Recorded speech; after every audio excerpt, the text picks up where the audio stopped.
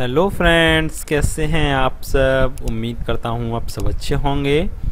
तो फ्रेंड्स आज हम डिस्कस करने वाले हैं 20 फीट बाय 30 फीट प्लॉट की प्लानिंग के बारे में। तो फ्रेंड्स ये जो हमारा प्लॉट है, ये हमारा साउथ वेस्ट इसका मेन फ्रंट है, जो साउथ ईस्ट है, इधर साइड में भी एक नैरो रोड है। तो फ्रेंड्स ये जो हमारा प्लॉट है, ये हमारा कॉर्नर का प्लॉट है, जो कि हमारा साउथ कॉर्नर का प्लॉट है। और इसमें फ्रेंड्स जो हमारा डिज़ाइन किया हुआ है, इसमें हमने तीन रूम विद पार्किंग हमने इसको डिज़ाइन किया हुआ है। तो वीडियो को शुरू करने से पहले मैं आपसे कहना चाहूँगा, यदि आपने अभी तक हमारे चैनल को सब्सक्राइब नहीं किया है तो नीचे रेड बटन क्लिक करके हमारे चैनल को सब्सक्राइब कर लीजिएगा और नोटिफिकेशन बेल को प्रेस कर दीजिएगा, जिससे कि हमारे प्रत्येक वीडियो को नोटिफिकेशन आप तक पहुँचता रहे। तो चलिए शुरू करते हैं।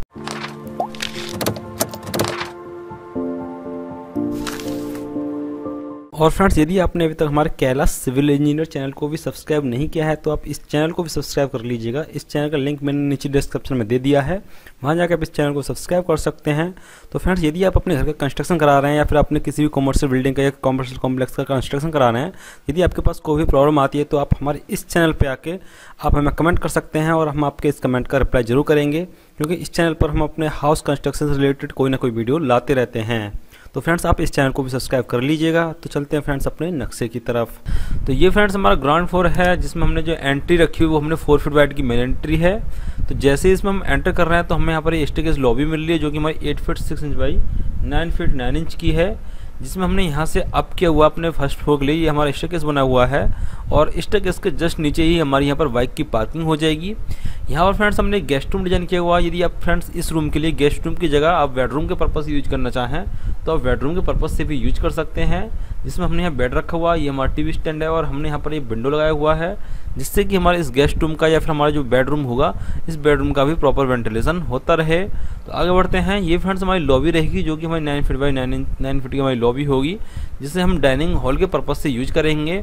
तो इस लॉबी में फ्रेंड्स जो हमारी एंट्री हो रही है, वो हमारी एक तो स्टकेज से हो रही है, एक हमारी इस बेडरूम से हो रही है, और यहाँ पर हमने किचन डिज़ाइन किया हुआ, जो कि हमारा five feet nine inch by eight feet ten inch का हमारा किचन है, जिसमें हमने स्टोव रखा हुआ है, ये हमारा सिंक है, और हमने इस किचन में भी यहाँ पर विंडो लगाया हुआ है, जिससे कि हमारे इस किचन का प्रॉपर वेंटिलेशन हो सके। ये फ्रेंड्स हमारा बेडरूम टू है, जो कि हमारा ten feet by ten feet का हमारा बेडरूम है। जिसमें हमने यहाँ बेड रखा हुआ है, ये हमारी कवर्ड है और ये हमारा टीवी स्टैंड है। तो फ्रेंड्स ये जो हमारा बेडरूम है इसकी जो टेन फीट वेड्थ है, वो हमारे इस वॉल के इस इस पॉइंट से, ये जो मैं आपको एक एरो से बता रहा हूँ, इस पॉइंट से यहाँ तक की हमारी ये वर्थ होगी, जो कि हमारी टेन फीट होगी। और ये इस बेडरूम थ्री में, ये जो कि हमारा ten feet nine inch by ten feet का हमारा बेडरूम है तो इस बेडरूम थ्री में हमारी जो बेडरूम की वर्थ होगी, वो हमारी यहाँ से ली हुई है।